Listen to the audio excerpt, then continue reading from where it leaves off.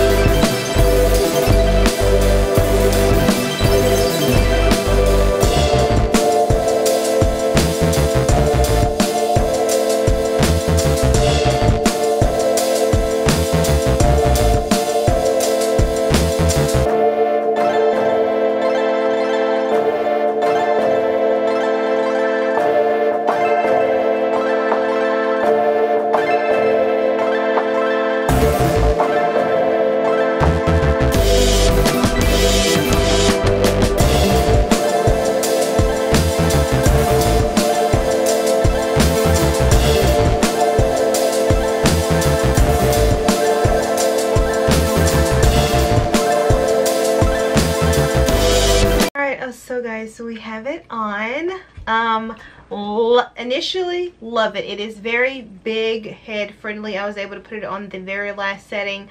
Put it on no problem. Um it is a half wig which means there is no true part. That is the one downside.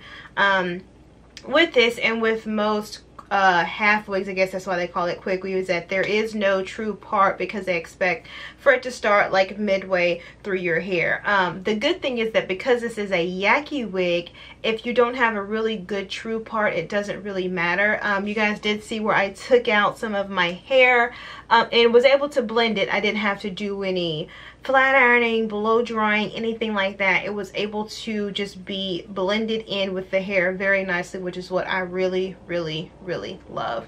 Um, love the texture on this. It comes to about right here. So this is my chest area. So it hits right at the chest area right here. So if this is my chest, it's a little bit below the chest area so not that long at all. Um, you can i did see that it is heat resistant up to 400 degrees. So there is a very big possibility that I am going to cut it just simply because I think it's too long. So where it's right here I'll probably cut it a couple inches off here. Um, and then I'll just taper it so that it's not like a blunt. So I'll just do some kind of like layers. But for right now I like it. It will wear it at this length for a while um, and then eventually because it is a synthetic wig um, it eventually will start to get like tangly and that's when I'll slowly start to um, cut it before it's probably like up here and then that's my cue to throw it away. Um, that's normally what I do with my synthetic wigs is that because it is a synthetic wig, it's not going to last forever. So I slowly start to snip away. So I'll take away an inch there, an inch here until it gets too short to where I don't like it and then I throw it away. So I make sure to get use of all of my coins on this wig. Um, so yeah, love it. Like I said, it's very you can tell it's yaki but it's not like it's not coarse. I don't see it being a problem with like knots and tangles as long as i like put it in. I put all my synthetic um, wigs. I buy a um, satin cap little cheap satin cap you can get at the beauty supply store and i just store them in there instead of storing them in the plastic that it comes in and it makes it last a little bit longer. Quick tip in case i didn't give that before. Store your synthetic wigs um, and satin caps. Little cheap, three or four dollars you can get from the beauty supply store and you're able to get a little bit more life out of it than storing it in the plastic um, that it comes in. Alright, so guys, that is it. I hope you guys enjoyed this video. I didn't put the price point, but I know it was less than $35 because I used my own coins and I'm not paying less over $35 for a synthetic wig.